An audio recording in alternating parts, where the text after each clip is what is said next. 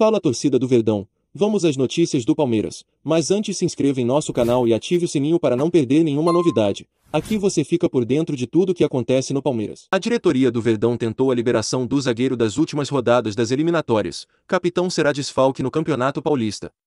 A decisão da comissão técnica da seleção do Paraguai, por manter a convocação do zagueiro Gustavo Gomes, frustrou os planos da diretoria do Palmeiras. O capitão do Verdão será desfalque para Abel Ferreira nas quartas de final do Paulistão e em uma eventual semifinal do torneio estadual. A diretoria palmeirense havia solicitado a liberação de Gomes com o argumento de que os paraguaios não têm mais chance de classificação para a Copa do Mundo do Catar. A seleção está na penúltima colocação da competição com apenas 13 pontos, 8 pontos atrás do Peru, hoje quinto colocado.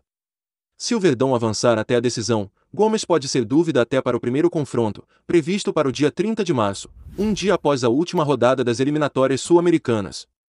Além de Gomes, o Palmeiras não poderá contar também com o goleiro Everton e o zagueiro Kusevic, convocados por Brasil e Chile respectivamente. O lateral esquerdo Joaquim Piquerez, por outro lado, esteve na pré-lista do Uruguai, mas ficou fora da relação final e não será problema para o time de Abel Ferreira. E aí torcedor do Verdão? A convocação de Gustavo Gomes vai prejudicar o Verdão. Qual sua opinião em relação a isso? Escreva nos comentários. Se inscreva em nosso canal e ative o sininho para não perder nenhuma novidade. Deixe seu like para ajudar nosso canal. Fique com Deus e até o próximo vídeo.